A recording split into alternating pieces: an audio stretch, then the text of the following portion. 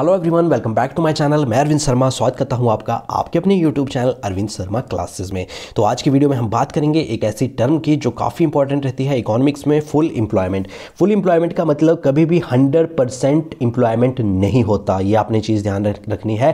कहीं ना कहीं three two four percent unemployment रहता है, चाहे वो डेवलप्ड कंट्रीज़ हैं या फिर अंडर डेवलप्ड कंट्रीज़ हैं। तो सबसे पहले डेफिनेशन की बात करें। It refers to a situation in which all those people who are willing and able to work at the existing wage rate get work without any difficulty. Yes my dear friends तो full employment generally होता क्या है? एक ऐसी situation जहाँ पे जो लोग काम करना चाहते हैं और काम करने के लिए तैयार हैं उन्हें काम मिल रहा है जो एग्जिटिंग वेज रेट चला है जो करंट वेज रेट चला है उस पर उन्हें काम मिल रहा है।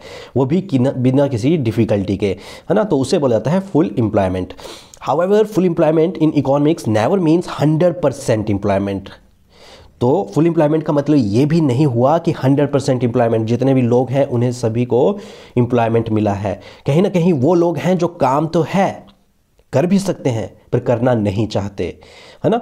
तो full employment is in economics never means 100 percent employment और zero unemployment but four to five percent unemployment will always be there yes my dear friends जो four to five percent unemployment है, वो रहता ही रहता है, चाहे वो डेवलप्ड कंट्रीज़ हैं या फिर अंडर डेवलप्ड कंट्रीज़ हैं।